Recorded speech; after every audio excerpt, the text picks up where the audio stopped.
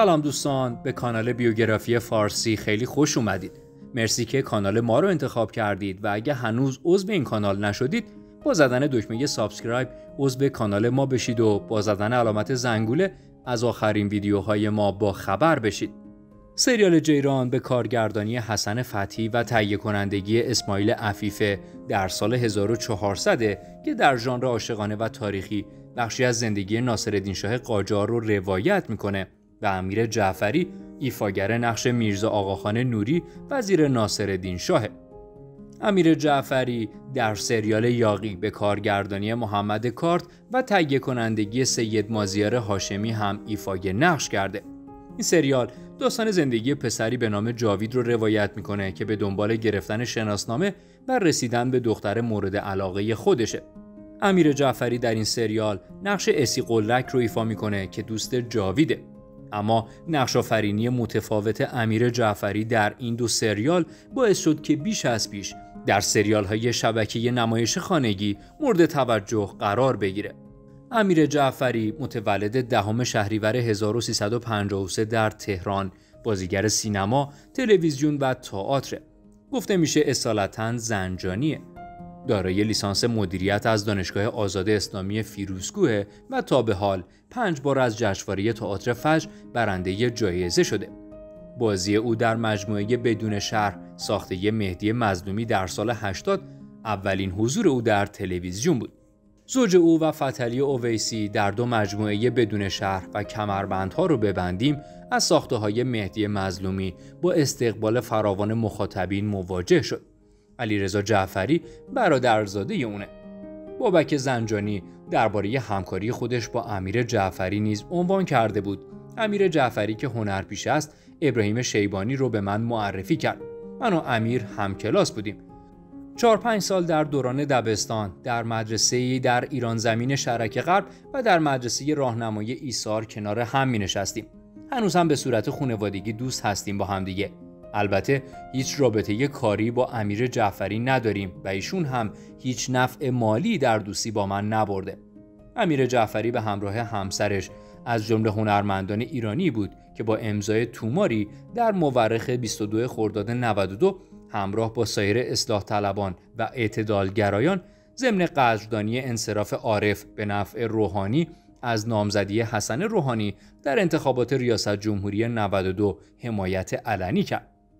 در سال آخر دبیرستان امیر جعفری کلاس های کانون تجربی که استاد سمندریان اونجا تدریس می‌کرد رو شروع کرد و به تمرین بازیگری پرداخت.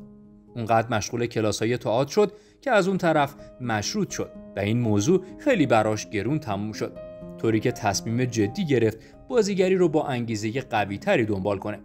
امیر جعفری بازی در سینما رو در سال 80 و با بازی در فیلم نان عشق و موتور هزار آغاز کرد. و همچنین فعالیت در تلویزیون رو هم در سال 80 با بازی در سریال بدون شهر شروع کرد. شاید زمانی که مجموعه تنز بدون شهر از تلویزیون پخش می‌شد کسی فکر نمی‌کرد امیر جعفری روزی یکی از بازیگران موفق تلویزیون و سینما در وادی تنز بشه. اما امیر جعفری تنها در وادی تنز موفق نبود. زمانی که در مجموعه پربینندگی میوه ممنوعه در نقش جلال فتوحی پسر علی نصیریان بازی کرد همه به هنر او یقین پیدا کردند که امیر جعفری از جنس هنره. وقتی اسم زوجهای وفادار در سینمای ایران و بین هنرمندان میاد ناخداگاه تعداد خیلی کمی از این هنرمندا به یادمون میاد. امیر جعفری و ریما رامینفر از اون دست زوجهایی هستند که بدون حاشیه و سر و صدا زندگی مشترک و هنری خودشون رو سپری می‌کنن و سالهاست در کنار هم زندگی می‌کنن. خانم ریما رامینفر در پنجم فروردین 1349 در تهران متولد شد. پدر و مادر ریما در دوران نوجوانی از هم جدا شدند و او فرزند طلاقه. رامینفر در سال 67 دیپلم گرفت و در همون سال در رشته گرافیک قبول شد. بعد از یک سال تصمیم گرفت که به اروپا بره و اونجا ادامه تحصیل بده. حدود چهار سال در آلمان زندگی کرد و حتی وارد دانشگاه شد ولی به ایران برگشت و در رشته کارشناسی نمایش و کارشناسی ارشد کارگردانی تئاتر فارغ تحصیل شد. در سال 1376 با نمایش تئاتر شب به خیر مادر به بازیگری روی آورد و با بازی در فیلم نان عشق و موتور هزار به دنیای سینما وارد شد از فیلم های معروف او می‌توان به رفیق بعد یه حب قند در کنار نگار جواهریان. قصه ها 13 در کنار امیر جعفری مرگ ماهی و فصل نرگس در کنار یکتا ناصر و امیر آقایی. زاپاس در کنار امیر جعفری و ابد و یک روز در کنار پیمان معادی و نوید محمدزاده اشاره کرد. او مدتی به عنوان نمایشنامه نویس و فیلمنامه نویس به کار مشغول شد. او نویسنده سریال های بدون شهر کمربندها رو ببندیم و چهارخونه بود در سال 1380 در نمایش یک دقیقه سکوت بازی کرد و جایزه دوم بازیگری جشنواره تئاتر فجر رو به دست آورد. همچنین نمایش زمزمه مردگان در سال 1381 هم جایزه اول بازیگری جشنواره تئاتر فجر رو برای اون به ارمغان آورد. ریما رامینفر با امیر جعفری بازیگر سینما و تلویزیون ازدواج کرد. حاصل این ازدواج یک فرزند پسر به نام آین جعفریه. امیر جعفری علاقه زیادی به مادرش داره و همیشه در پستایی که به اشتراک می‌ذاره از دعای خیر مادرش که همیشه بدرقه راهش بوده میگه ریما رامینفر و امیر جعفری اولین بار در حدود سال 73 و در نمایش دو جلاد و کلاس های بازیگری زنده یاد حمید سمندریان با هم آشنا شدند و این آشنایی بعد از مدتی طولانی به ازدواج منجر شد. ریما رامینفر همسر آقای بازیگر حدود چهار سال از همسرش امیر جعفری بزرگتره و زمان آشناییشون با هم امیر جعفری 19 سال بیشتر نداشت. به دلیل کم سن و سال بودن امیر جعفری و نداشتن شرایط مالی مناسب از آشنایی تا ازدواج این زوج حدود 11 سال طول کشید. این زوج از وفادارترین زوجهای دنیای هنر هستند که عشق و وفاداری اونها در میون سایر هنرمندا زبان زده و این زوج همیشه در برنامه ها و مراسم مختلف به تعریف و تمجید از همدیگه پرداختن. اونها از مهربانی و خصوصیات اخلاقی خوب همدیگه صحبت کردند. خصوصیت اخلاقی امیر جعفری از زبان ریما رامینفر. امیر مهربان و خیلی خونواده دوسته. اما خب کم طاقت و گاهی اوقات عصبیه که البته هر انسانی گاهی اوقات عصبی میشه. اما مشخصات رامینفر از زبان امیر جعفری. هرچی بگم کم گفتم. مهربان انسان دوست و از معدود افرادیه که هیچ وقت خنده از لبش محو نمیشه امیر جعفری و ریما رامینفر ششم شهریور ماه سال 1386 در شب نیمه شعبان صاحب فرزند پسری به نام آین شدند. آین پسر این زوجه هنرمند شباهت زیادی به پدرش داره و رابطه امیر جعفری با پسرش چیزی بیش از یک رابطه پدر و پسریه و بیشتر با هم رفیق هستند. امیر جعفری بازیگری رو در یک دوره دو ساله زیر نظر استاد حمید سمندریان آموخت و اولین بار در سال 1380 به دنیای سینما راه پیدا کرد. در همین سال اولین سریال تلویزیونیش رو بازی کرد.